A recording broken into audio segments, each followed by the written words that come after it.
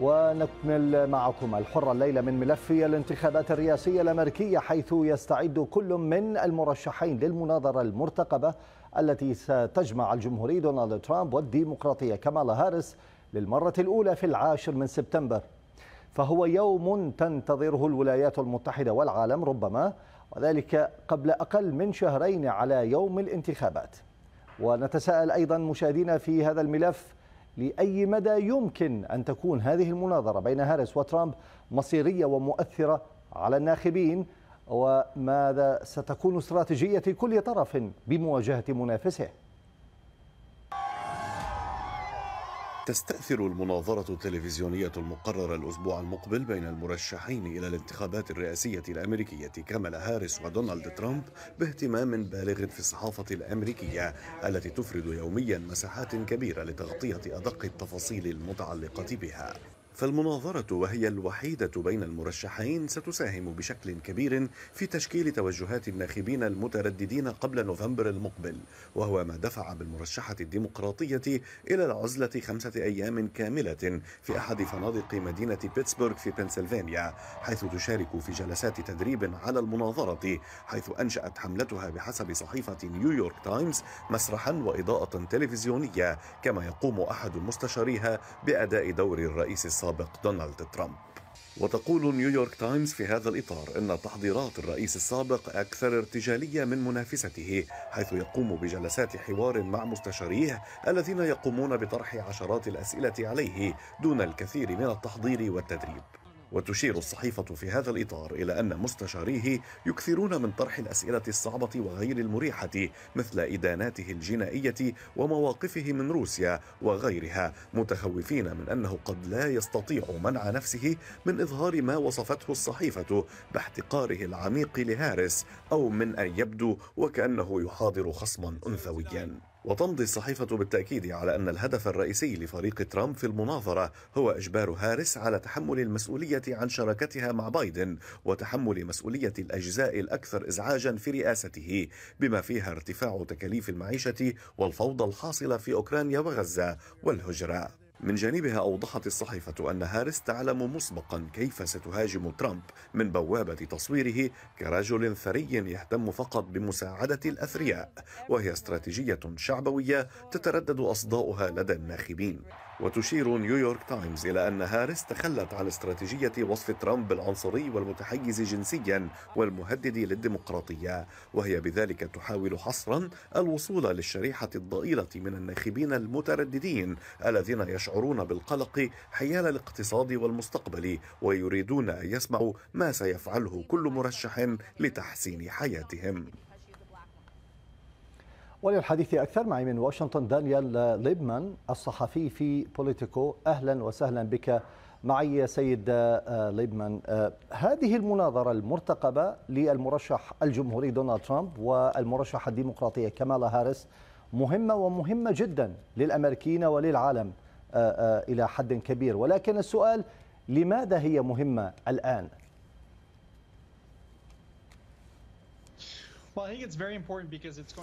هي مهمة لأنها ستؤثر على خيارات المترددين حتى الآن من الناخبين. لو كان أداء هاريس جيدا يمكنها أن تضمن النجاح في الانتخابات وإن لم تقم بأداء جيد فقد يؤثر ذلك سلبا على حملتها.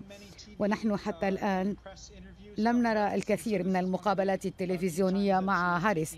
هذه هي ربما من بين المرات القليلة التي تتكلم فيها على وسائل الإعلام وبالتالي من المهم للشعب الأمريكي أن يستمع إليها وبالنسبة إليها أن تقدم رؤية حول ما الذي ستفعله كرئيس مقابل دونالد ترامب. كيف يعني يقيس المتابعون لهذه المناظرة الأمريكيون تحديدا الجيد والسيء من خلال الأداء. يعني كيف سيعرفون بأن أداء دونالد ترامب أو كمالا هاريس كان جيدا في هذه النقطة وكان سيئا؟ هل من خلال نبرة الصوت هل من خلال الحجة المقنعة؟ ما هي الآلية برأيك؟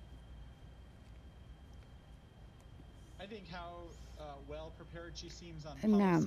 أولا هناك السياسات يجدر أن تكون جاهزة للإجابة وللكلام عن السياسات التي تهم الشعب.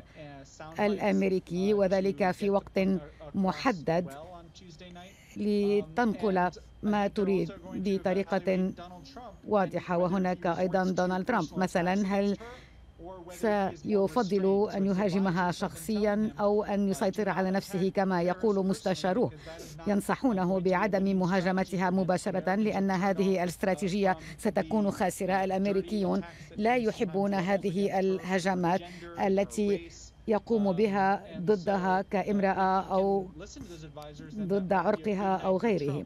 فإن استمع ترامب إلى هذه النصح سيكون ربما الأمر جيدا. أما إن لم يتمكن من ذلك فسيؤثر ذلك سلبا عليه.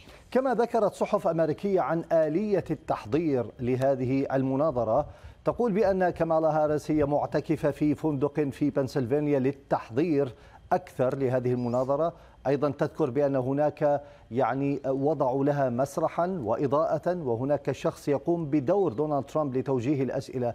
يعني هناك تحضير وترتيب لهذه الآلية لهذه المناظرة. في المقابل دونالد ترامب كما تقول الصحيفة آه، يعتمد على الجانب الارتجالي. أيهما برأيك سينجح؟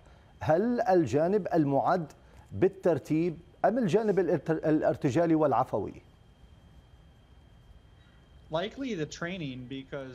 أعتقد التدريب لأنه عندها نعرف كيف سنرد وهناك أيضا سياسات يمكن أن تستعمل وجمل للمهاجمة وقد ساعد ذلك هاريس سابقا في المناظرات. في المناظرة الأخيرة لترامب ضد جو بايدن في يونيو حزيران لم يحتاج إلى ذلك لأن بايدن هو بحد ذاته كان أداؤه فاشلا. وبالتالي ترامب بدا أكثر ملائمة لمنصب الرئاسة من بايدن الذي حتى لم يتمكن من أن ينطق ينطق بطريقة ملائمة. الآن ترامب يريد أن يتصرف ولكن مستشاروه يقولون له أن يضبط نفسه وأن لا ينتقد هاريس شخصيا أو أن لا يقلل من احترامها كمرأة ومرأة ذات بشرة ملونة. لذلك عليه أن يركز على السياسات وكيفية تحسين حياة الأمريكي.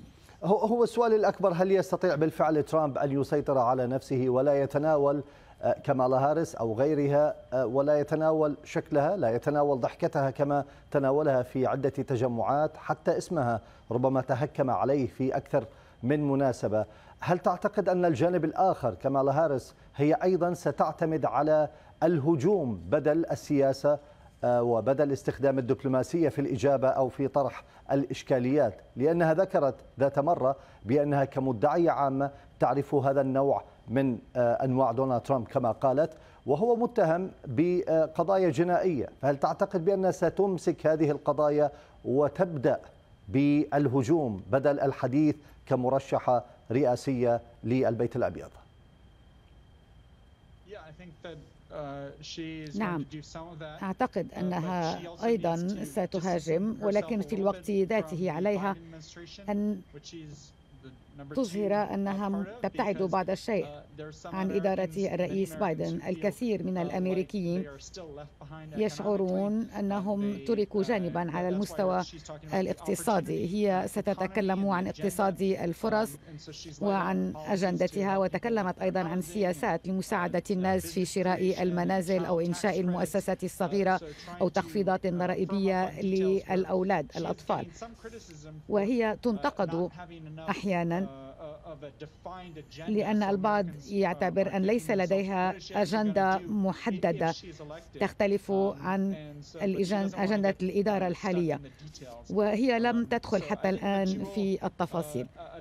أعتقد أنها ستهاجم ترامب تقول إنه رجل ثري يريد أن يركز على مصلحة الأثرياء وليس الطبقة الوسطى. ولكن الملفات المهمة وذكرتها قبل قليل دانيال فيما يتعلق آه، في الاقتصاد فيما يتعلق بأمن الحدود وهي ملفات مهمة للأمريكيين كما قلت آه، آه، ربما هي التي سيستخدمها بكثرة دونالد ترامب ضد كمالا هاريس وبالتالي حتى وإن هي أعلنت قبل أيام عن خطتها للمشاريع الصغيرة لكن دونالد ترامب سيقول الفترة التي قضيتها في البيت الأبيض كان الأمريكيون يعني يشترون السلع الأساسية بأسعار أقل بكثير مما هي عليه الآن، ربما سيلعب على هذه النقطة.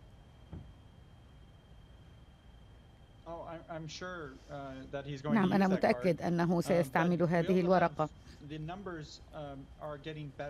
um, ولكن الأرقام تتحسن على المستوى الاقتصادي ونسبة uh, البطالة هي حوالي 4% غالبية.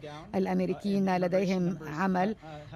التضخم تراجع وكذلك نسبة دخول المهاجرين. وذلك بفضل سياسة بايدن على الحدود. وبالتالي تراجعت أيضا الفوضى على الحدود التي كانوا يركزوا عليها في بداية العام وهذا ليس لمصلحة ترامب. كذلك لم يتمكن من إيجاد هجوم مؤثر ضدها. يتكلم عن أدائها كنائبة لنائبة للرئيس عندما كانت تعتبر غير لا تعرف بالأمور السياسية بشكل ملائم. هناك صوت يقول بأن كمالا هارس إذا ما أقنعت الناخبين فإنهم سيقتنعون أو سيذهبون للتصويت إليها فقط حتى لا يعود دونالد ترامب إلى البيت الأبيض وليس لأنها هي يعني مناسبة لهذا المنصب لأننا نعلم بأنها ليست معروفة كثيرا للأمريكيين هل توافق هذا الصوت أو هذا الرأي؟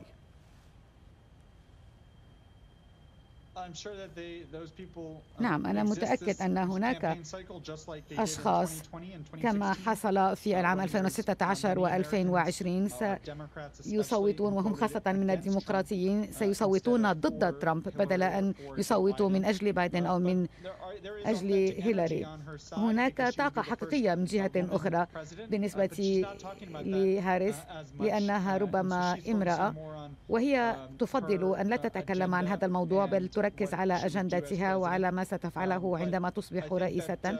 وأعتقد أيضا إنها تعتبر أن لديها فرصة مهمة الآن. غالبا تكون هناك مناظرات ثلاثة في الانتخابات الرئاسية ولكن هناك مناظرة واحدة للمرشحين للرئاسة وواحدة للمرشحين عن النيابة. في الولايات المتأرجحة هناك أرقام متقاربة لكلا المرشحين كمالا هارس ودونالد ترامب. هل تعتقد بعد المناظرة سنشهد تغيرا كبيرا في هذه الأرقام بحسب استطلاعات الرأي بطبيعة الحال؟ أعتقد uh, الذي سيفوز أو سيكون أداؤه أفضل في المناظرة ستتقدم أرقامه بنقطة أو اثنين. ولكن أعتقد أن غالبية الناخبين قرروا لمن سيصوتوا ولكن هاريس تمكنت من الحصول على تبرعات أكثر من دونالد ترامب يمكنها أن تركز على الدعايات أعتقد أنها حصلت على 360 مليون دولار في شهر آب أغسطس ولديها بالتالي أموال أكثر من دونالد ترامب وستقوم بتعزيز الدعايات الانتخابية خاصة في ولايات كبنسلفانيا ويسكونسن وميشيغان. إلا أن السباق ما زال محموما وكان لترامب بعد الأيام الجيدة أيضا. أعتقد أن الزخم على أي حال ما زال مع هاريس. شكرا لك على هذه المشاركة من واشنطن دانيال ليبمان الصحفي في بوليتيكو.